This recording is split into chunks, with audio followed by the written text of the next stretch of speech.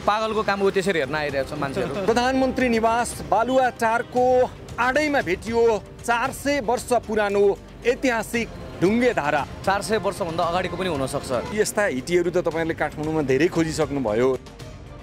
सम्बन्धित निकाय किन चुकिराखेको छ यो ऐतिहासिक धरोहर संरक्षण गर्न? कुनै पनि राष्ट्र सिद्ध्याउने हो भने परमाणु बमले सिद्ध्याउन सकिँदैन। तर सम्पदाहरू विनाश गरिदियो भने त्यो राष्ट्र सिद्धिन्छ। त्यो राष्ट्र बचाउने भनेको यही सम्पदा संस्कृतिले बचाउने हो। अब यहाँ त यो प्रहार भइरहेछ। यो भएन भने हाम्रो नेपाल पनि रहँदैन। यो कुरा चाहिँ सबैले बुझेर मर्म अनुरूप ढुङ्गे धारा त खोजियो तर पानी नआउने ढुङ्गे धारा खोजेर के काम लाग्छ र भनेर उहाँहरू चाहिँ यहाँ अहिले राजनीति भनेर जस अब जसको खेलमा लागिरहेछ। कलात्मक तरिकाले यसको इतिहास लेखेर यसलाई संसारलाई देखाउन मिल्छ नि यसलाई पुर्ने हो र। दर्शकवृन्द सम्पदा संरक्षण अभियानमा लामो समयदेखि लागिरहनुभएका अभियन्ता हुनुहुन्छ यादवलाल कायस्थ। यो चार सय वर्ष पुरानो ऐतिहासिक हिटी पत्ता लाग्यो। यो पत्ता लगाउने अभियानमा लाग्नुभएका तपाईँहरू सबैजनालाई बधाई छ। एकदम एकदम धन्यवाद। यो चार सय वर्षभन्दा अगाडिको पनि हुनसक्छ। हजुर। हिजो मात्रै यो उत्खनन सम्पन्न भएपछि सम्पन्न त भन्नाले यो हिटी देखिएपछि पुरातत्व विभागका अधिकृतले प्रारम्भिक अनुसन्धान गर्नुभएको छ। उहाँले प्रारम्भिक रूपमा मौखिक रूपमा दिनुभएको जानकारी अनुसार चाहिँ यो चार सयभन्दा पनि अझ अगाडिको हुनसक्छ। किनभने बुट्टासुट्टाहरू छैन अहिलेलाई यसमा देखिएको छैन। चार सय वर्षभन्दा पनि अगाडिको हुनसक्छ। है अनुसन्धानको क्रम सुरु भयो अब। हजुर भइसक्यो। अब यो चार सय वर्षभन्दा पनि अगाडिको हुनसक्छ अनुमान हो यो ठ्याक्कै कति वर्ष पुरानो अनुसन्धान सकिए पछाडि थाहा होला। तर यो ठाउँमा हिटी छ भन्ने कुरा चाहिँ तपाईँहरूले कसरी अनुमान लगाउनु भयो कसरी खोजी गर्नुभयो? हामीले योभन्दा अगाडिको अहिले उत्खनन भइसक्नुभन्दा अगाडिको अवस्था त हेऱ्यौँ हामीले यहाँ फोहोर थुपार्ने ठाउँ थियो एउटा। कसैलाई पनि थाहा थिएन कि यहाँ हिटी छ भन्ने कुरा। कसरी पत्ता लगाउनु भयो कसरी सुरुवात गर्नुभयो यसको रेकी कहाँबाट सुरुवात गर्नुभयो? अब हामीले विगत कैयौँ वर्ष अगाडिदेखि छ सात वर्ष अगाडिदेखि यो सम्पदा संरक्षण भनेर हिटी संरक्षण गर्ने काम नै गरिरहेका थियौँ। सामाजिक सञ्जालको माध्यमबाट हामी प्रचार पनि गर्थ्यौँ पोस्ट गर्थ्यौँ हामीले। त्यसैको दौरानमा चाहिँ विभिन्न ठाउँबाट विभिन्न मान्छेहरूले मलाई साथीभाइहरूलाई चाहिँ मेसेज पठाउँथ्यो यहाँ पनि पुरिएको छ मेरो घरसँगै पुरिएको छ मेरो टोलमा पुरिएको छ भनेर जानकारी आउने। यसै स्वरूप चाहिँ साढे चार वर्ष अगाडि मलाई यहीँको स्थानीय बासिन्दाले यो एउटा हिटी पनि उत्खनन गर्नु पऱ्यो संरक्षण गर्नु पऱ्यो भनेर मेसेज पठाउनु भएको थियो। तर त्यतिखेर माहौल बनाउन सकेनौँ अरू विभिन्न कामहरू पनि गरिरहेको थियो त्यतिखेर। र साढे चार वर्षपछि हामी पन्ध्र दिन अगाडि यहाँ आएर फेरि स्थानीय बासिन्दाहरूसँग यो ठ्याक्कै कहाँनिर छ भनेर हामीले डायग्नोसिस गऱ्यौँ। एउटा पत्ता लगायौँ कहाँनिर छ भन्ने कुरा चाहिँ ठ्याक्कै पत्ता लगाइसकेपछि महानगरपालिकाको डिएसपी साहबहरू अब मेयर साहबको सचिवालयको साथीभाइहरूलाई हामीले सहयोग माग्यौँ। उहाँहरूले मान्छे पठाइदिनु पऱ्यो र उहाँहरूको सहयोगमा हामी खन्न सफल भयौँ। यो उत्खनन गर्न कति समय लाग्यो? चार दिनपछिको परिणाम हो यो। ए चार दिनमा तपाईँहरूले यहाँ माथि भएको फोहोरको डुङ्गुरहरू सबै फाल्नुभयो प्रहरी महानगर प्रहरी स्थानीय तपाईँ सम्पदा बचाउ अभियानका अभियन्ताहरू सबैजना मिलेर यो ऐतिहासिक धरोहर। हजुर एकदम। नेपालको इतिहास। नेपालको इतिहास सार्वजनिक गर्नको लागि तपाईँहरू सफल हुनुभयो।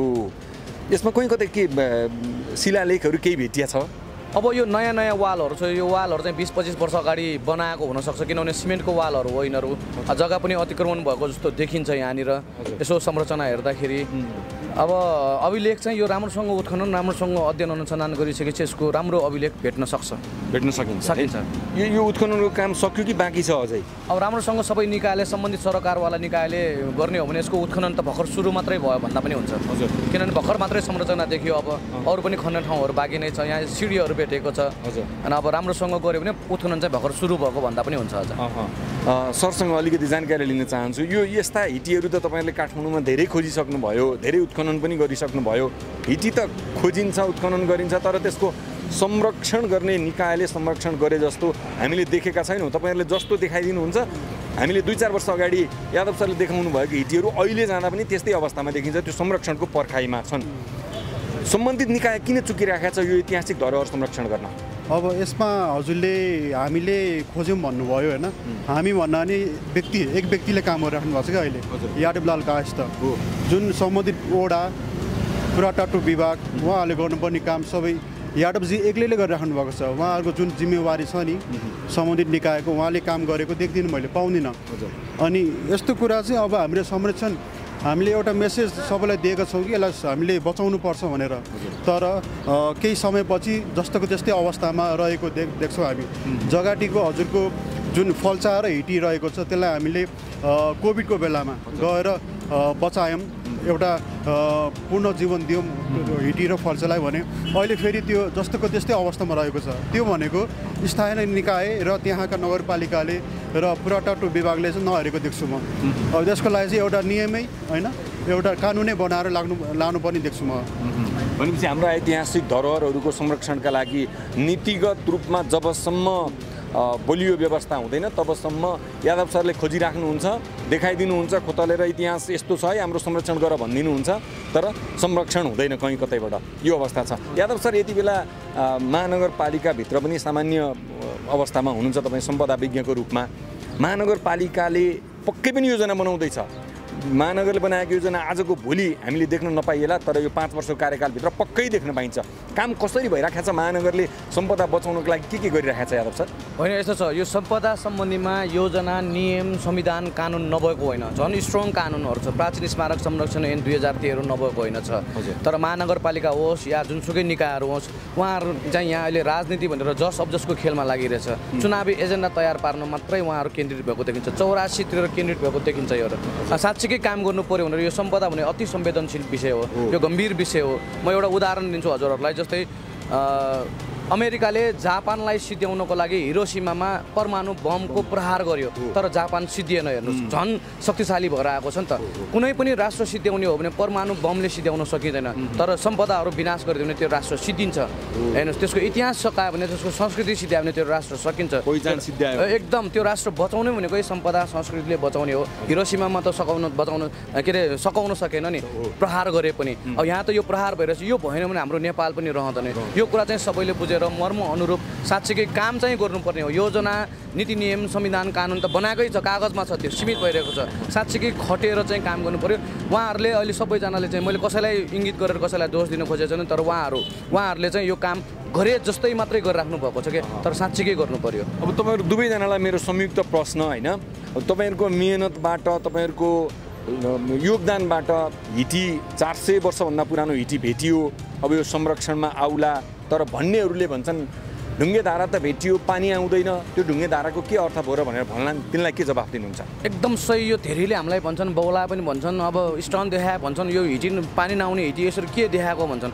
उहाँहरूले के बुझ्नुपर्छ भने उहाँहरूले काठमाडौँमा विशेष गरी काठमाडौँमा खानेपानी संस्थानमा उहाँहरूले जरिवाना सहित महसुल तिरिराख्नु भएको छ। त्यहाँ पानी नै आउँदैन। वर्षौँ वर्षौँ अगाडि तैपनि उहाँहरूले म त्यो तिरिराख्नु भएको छ नि खानेपानी संस्थानमा त्यो बुझ्नु पर्थ्यो नि।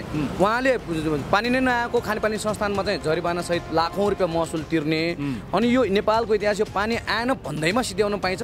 हेर्नुहोस् त यहाँ हेर्दै पनि कति आनन्द आइरहेछ है हजारौँ मान्छेले हेरेर गइसकेको छ यहाँ भन्दाखेरि। यो नेपालको इतिहास हो नि त। एउटा यो भयो। अर्को कुरा चाहिँ यसको चारवटा तरिका छ पानी ल्याउने हामीले काम गरिरहेको आधारमा साथीभाइ मिलेर काम गर्दा यसमा चारवटा तरिकाबाट पानी ल्याउनु मिल्छ। एउटा चाहिँ जुन बेलामा यो निर्माण गर्यो त्यही किसिमको त्यही शैलीको पानी झार्ने कोसिस गर्नुपर्छ जुन राज्यले आजसम्म गरेको छैन। जति बेला बनाए अहिले जतिसम्म पानी आयो त्यो मात्रै खायो त्यसपछि मेन्टेनेन्सको कामहरू कहिल्यै गरेन। अब त्यो मरामत सम्भारको काम पनि गर्नु पर्यो आउँछ कि भनेर हेर्नु पर्यो त्यो एउटा। दोस्रो चाहिँ हाम्रो यो ऊ पाइपलाइनबाट आइरहेको यो। यो खानेपानी संस्थान लगायत केयुकेएलबाट आइरहेको पानी त्यो त्यहाँ राखेर पनि यसमा पानी झार्न मिल्छ। त्यो दोस्रो भयो। तेस्रो आजकल होटेलहरू यो अस्पतालहरू विभिन्न ठुल्ठुलो कम्प्लेक्सहरूमा चाहिँ नयाँ बनाउँछन् नि मेसिन राखेर रिसाइकल गरेर पानी झार्छन् नि।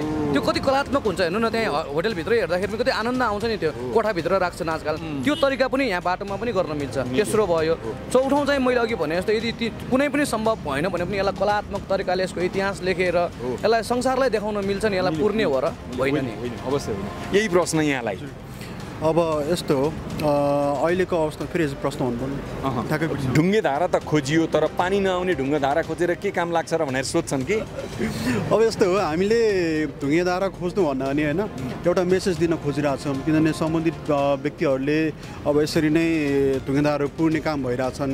अब संरक्षण चाहिँ हामीले धेरै गऱ्यौँ। धेरै ठाउँमा गयौँ अब काठमाडौँ बाहिर पनि गइरहेछौँ अहिले दोलखाहरूमा गइरहेछौँ होइन। भक्तपुर पाटनमा पनि गइरहेछौँ अब त्यहाँ गएर हामी त अब पागल जस्तो भइसक्यौँ। कि बिहान छ बजी उठ्यो खाली पेटमा निस्क्यौँ। दिनभरि हिटी संरक्षण गऱ्यौँ। बेलुका आएपछि हाट नसुन्ने।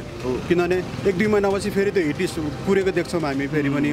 त्यो भनेको कानुन छ तर कानुन अलिक कडा हुनु पऱ्यो भन्ने कुरा हो कि।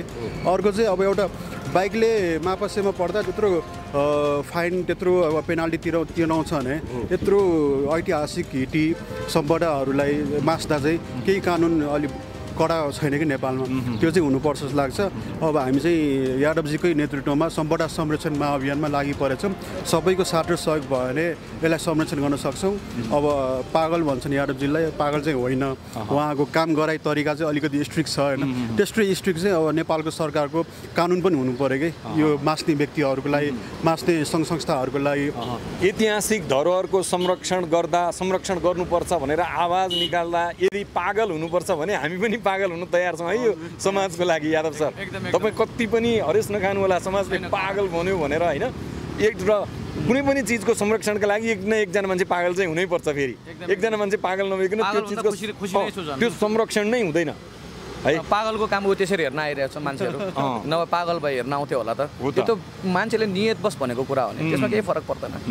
हुन्छ। यो हिटीहरू खोज्ने त्यसपछि संरक्षण गर्नको लागि दबाब दिने र यसको प्रचार प्रसारमा हामीले गर्न सक्ने भूमिका हामी सधैँभरि तपाईँको साथमा छौँ साथ दिनेछौँ तपाईँलाई यो काममा अझ बढी हौसला मिलोस्। हामी शुभकामना दिन्छौँ।